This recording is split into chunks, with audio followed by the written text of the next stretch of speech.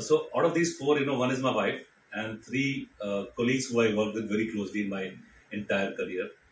Uh, so you know what happens is that uh, for women to be successful, first of all, you know, there is a father who has raised a, a child who uh, has to go out and work, and then there is a very supporting husband, or there is a very strong supporting family uh, behind that uh, lady. You know, before they can perform well in both in work and at home.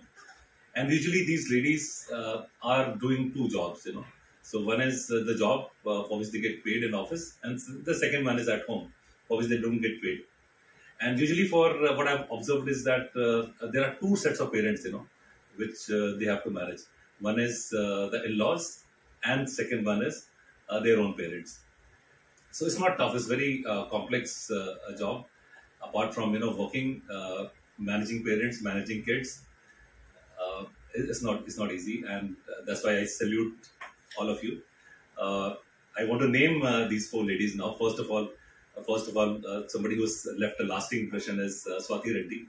Swathi Reddy used to work with me long term back in the beginning of my career.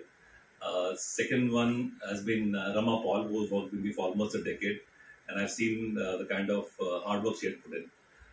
third one was third one was Minoo Phakey, who worked uh, for almost uh, 25 years. I've observed her very, very closely and the way she managed her family and her uh, uh, home and, and, office as well. Uh, fourth one, my wife, of course, who have who has managed again, you know, the family, both sets of parents, work, you know, doing pretty well in, in career. So this is a tribute to all of you. Uh, a very happy Women's Day to all of you and uh, wish you uh, rise and shine and do very well in life.